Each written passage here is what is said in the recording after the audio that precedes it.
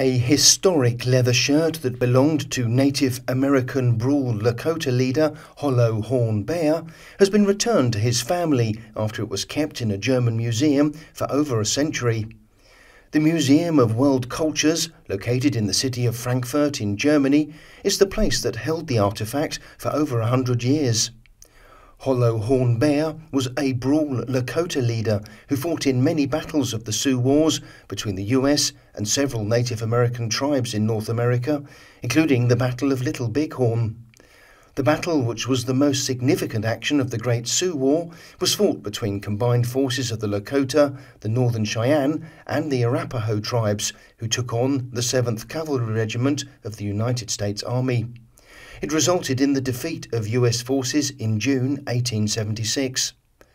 After the wars, Hollow Horn Bear served as police chief of the Rosebud Indian Reservation and even featured on a 1922 US postage stamp.